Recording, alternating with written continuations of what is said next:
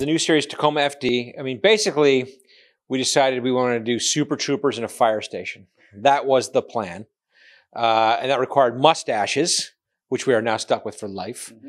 and it required new uniforms. So uh, uh, the idea, though, was just to take the same fun and hijinks uh, and, and and the same humor and put it into that that different world. So what he said. Kevin plays uh, Chief Fire Chief Terrence McConkey. He's Terry McConkey, and uh, basically it's Farva if he's given some authority and and uh, becomes your chief. Um, but you know, probably like Farva light. Like you're not insane like Farva, but we do see you alone a lot, and uh, and you talk to yourself a lot in this show. as I do in real life. As you do in real life. I actually, you know what's funny? I actually saw you at a buffet yesterday. You and I were at, uh, you know, at the airport. You were at a buffet, and I realized at a buffet is where you do talk to yourself. You were at the buffet. I was like 20 feet away, and you were like, hmm, they got salami, and they got, and I was like, who is he talking to? My character is Captain Eddie Penisi.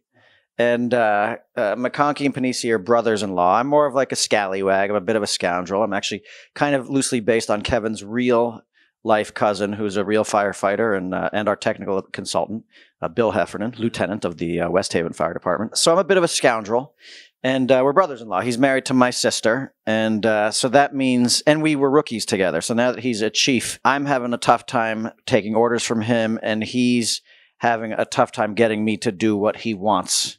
And uh, and also he is conflicted because he still wants to be one of the the crew but now he's in charge. And so while we're doing our shenanigans, he's uh, you know he's trying to squash it, even though he really wants to be partaking. I mean, there are so many there are so many uh, funny things that we've done. I think you know one of my favorite things was uh, when we were shooting the uh, the firefighter charity beefcake calendar episode, and it's the scene where we're we're trying out all the various oils you can put on your body to make yourself shimmery shimmery versus shiny versus slimy and uh, i think it really kind of deteriorated into the absurd. You want to go with a linseed oil. You don't want it to be too shiny because then it becomes it, it overpowers.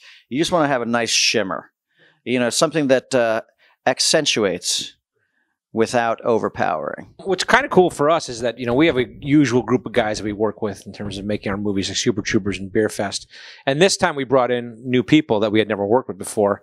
And there's that feeling out process where you're trying to figure out, you know, how far they can go and if they're, you know, what their comedy chops are. And uh, the the real fun part of it was discovering this kind of other group of people who improvised and did all this funny stuff, and we came up with this great funny material with this new group of people. That's what I like the most.